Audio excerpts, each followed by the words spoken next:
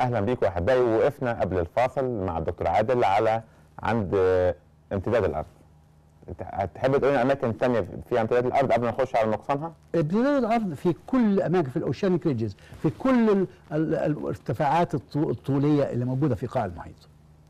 كلها يعني لازم يكون مكانها المحيط قاع المحيط آه قاع المحيط مم. فادي الامتداد بتاع الأرض في امكنه لا يمكن ان إحنا نراها مم. آه شفناها ودي برضه. حكمة ربانية دي حكمة ربانية إن كل العملية دي عملية طبعا آه، يعني شفت مهولة. مهولة جدا آه يعني آه، نار طالعة من الأرض آه. وعمالة ترمي صخور على كل ناحية الكلام ده كله مم. صعب جدا مم.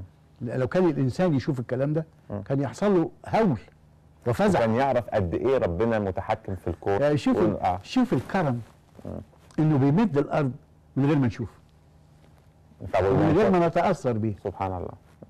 شوف الكرم. طب بقى نقصان الأرض. ليه بنخاف إن في نقصان من الأرض؟ بسم الله الرحمن الرحيم. أولم يروا أنا نأتي الأرض ننقصها من أطرافها؟ والله يحكم لا معقب لحكمه وهو سريع الحساب. صدق الله العظيم. وبعدين أخيرا مؤخرا يعني يعني بعد في الثمانينات والتسعينات وجدنا حلقة اسمها حلقة النار. وليه حلقة النار؟ يعني إيه حلقة النار الأول؟ آه هقول لحضرتك حلقة النار. أهي حلقة النار موجودة في المحيط زي ما أنت شايف كده. موجودة بالحاجات اللي عاملة زي ما تقول رغاوي في حوالين منطقة خاصة اسمها في الم- في المحيط. في هذه الحلقة الرواسي.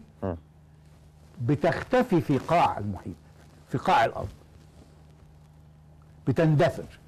إحنا مش قلنا. الرواسي عند حوفها. حاجة من اتنين. يا إما بتنزل جوه والجبال تتكون صحيح يا إما ما بتعملش حاجة يا إما بتطلع فوق و و و وتزود وتزود طول وتزود مساحة الأرض. مساحة الأرض أو كثافة.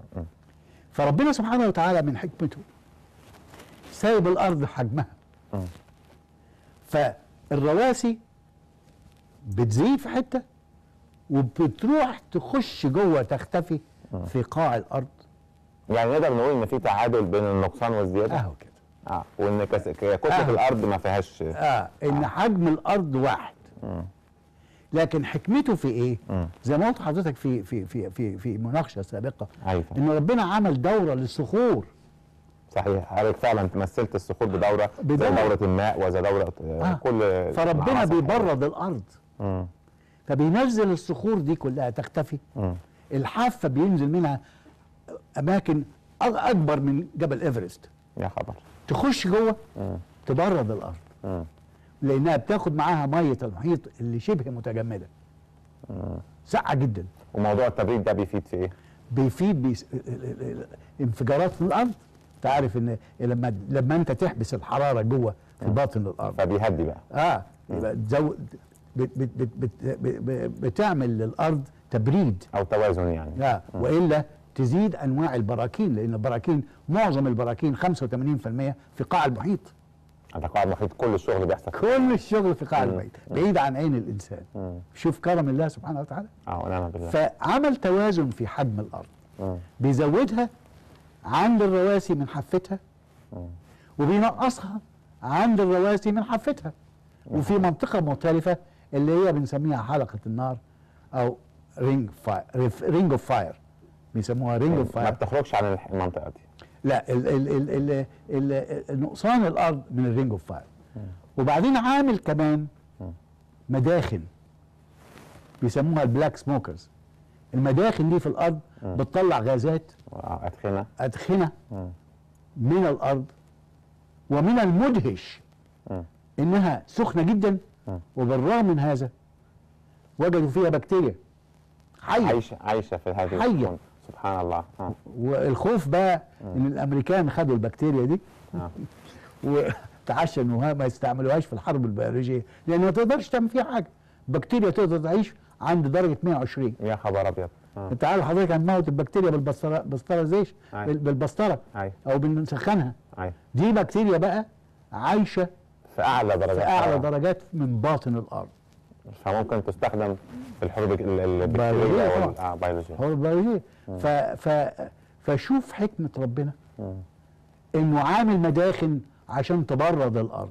يجيب السخونية من الأرض يبعتها للمحيط. وبعدين يطلع الحمم يبني بيه الأرض ويمد الأرض. سبحان الله. وبعدين يدخل الرواسي حواف بتاعتها ومناطق كبيرة صخرية يبرد الأرض لأنها بتاخد معاها مية المحيط اللي باردة جدا تبرد. ويخرج الغازات من الناحية الثانية وعمل مستديم.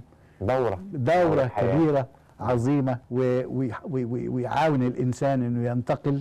لأن طبعا زمان لا كان في طيارات ولا كان في حاجة كل كل واحد ماشي. يعني وال- وال- والخيل والبغال والحمير كل ده كان وسائل انتقالنا ما فيش آن انتقال تاني. فطبعا هو حرك ال- حرك القارة كلها.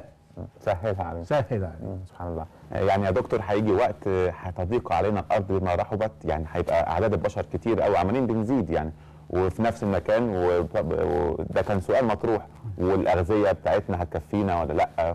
يا سيدي ما تنعاش هم ربنا بي بي بيدبر الأكل بتاع الفيل بكل الأعشاب اللي بياكلها والنملة وحتى في ال- الدخان اللي طالع من قاع المحيط على بعد 9 ميل آه البكتيريا اللي عايشة فيه عايشة على الكبريت اللي جاي من الأرض. سبحان الله. ولو تشوف المنظر اللي موجود ده هنا الساحل طلع لفوق. الساحل على أثر زلزال في شمال أوروبا المحطة بتاعت المراكب اللي كانت موجودة على على الإفريز ده على الشارع ده بقت ملهاش فايدة. بقت فوق خالص بعيدة عن المراكب. ومع ذلك أنا متأكد إن ربنا دبر للناس اللي بتشتغل على على الرصيف ده دبر لهم أكل ودبر لهم ودور- وغير لهم كل حاجة. يعني ما تنعاش الهم ربنا كريم. أحبائي نلقاكم على خير. السلام عليكم ورحمة الله وبركاته. شكرا.